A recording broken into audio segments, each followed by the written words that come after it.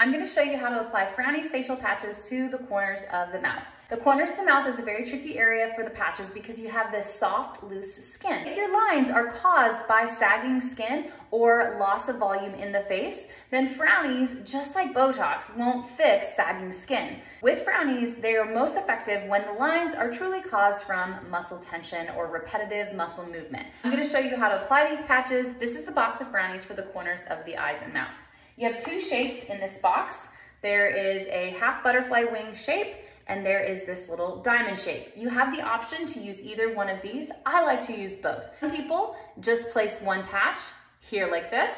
You might even take this diamond shape and go up right here around the nasolabial fold um, I personally am going to put this patch here and then I'll overlap the other patch, taking it up my cheek slightly. If you're somebody who feels like the cheeks fold over the corner of your patch a little bit, then taking that other patch and overlapping and taking it up the cheek is really gonna be your most effective option. Same thing for this side, you can go here, you can go here, here, you can go anywhere that works for you. I'm gonna put one patch, anchor it with another patch going up my cheek. Let's do it. First thing, you take your rose water hydrator. It has hyaluronic acid, so it's an extra skincare treatment under the patch and it activates the adhesive.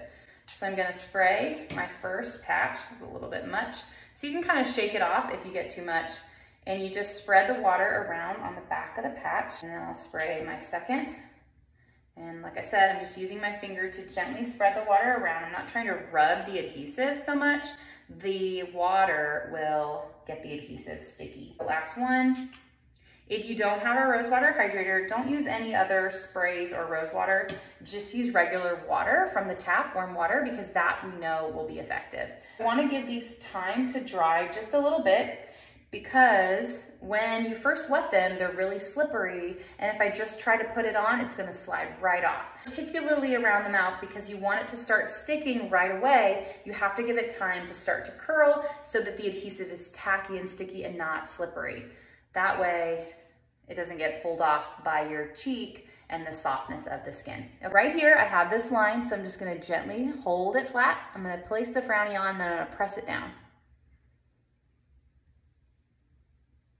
So you can adjust it a little bit. You saw me do that there. So just gonna press it down. And then I'm gonna take my second piece and overlap it. And that's gonna kind of anchor that first piece. So just like this, I'm gonna go right here. And then I just hold it down. Now I have to be careful to talk because I don't wanna move my mouth with these frownies on and have them peel right off. Let's do the other side.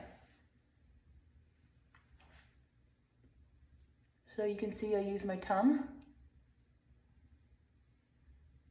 Got that on there. And let's overlap. Let's go Okay, so the key is to give them plenty of time.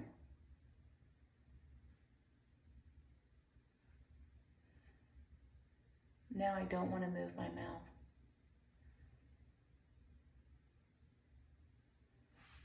And there you have it.